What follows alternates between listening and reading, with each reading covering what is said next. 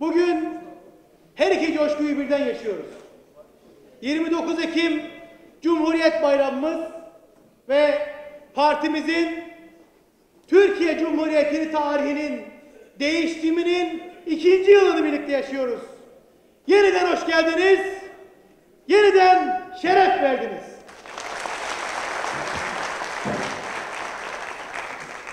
Aramızda uzak diyarlardan gelip misafirimiz olan, bizimle birlikte yaşamaya başlayan Uygur Türk'ü kardeşlerimiz de var. Onlara da hoş geldiniz diyoruz.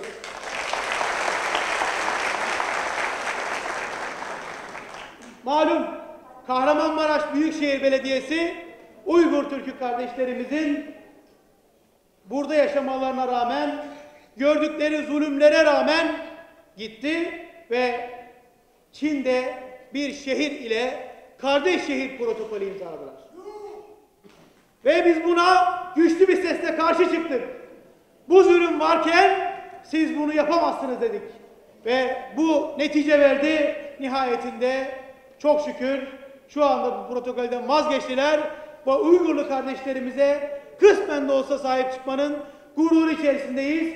İnşallah bunu büyüterek, çoğaltarak kamuoyunda sizlerin de desteğiyle İnşallah başaracağız ve onları kendi memleketlerinde huzurla yaşayacakları bir yere yolcu edeceğiz inşallah. Allah'tan kuldan korkmayan bir anlayış Türkiye'de oluştu arkadaşlar. Zerre kadar Allah korkusu taşımıyor. Haram yemenin sınırları zorlandı.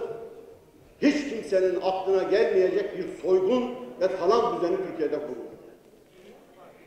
İyi Parti'nin kuruluşunda bu soygun düzenine karşı bir ayağa kalkış olduğunu bütün arkadaşlarımın da bilmesini istiyorum.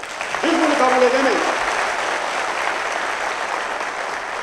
Milletin gözünün içine baka baka kurulmuş olan bu talan düzenini yüce dinimizi kullanarak yapan insanlara karşı bu milletin ferasetini, duygularını öne alarak, onlarla iç içe geçerek, kol kola olarak bir son verilmesi gerektiğine yürekten inanıyoruz değerli arkadaşlar. Zaten İyi Parti'nin kuruluşuna giden yolda önemli olaylardan bir tanesi de bu vurgun ve kalan düzenini ortadan kaldırmak. Bu haram imparatorluğunu yerle bir etmek.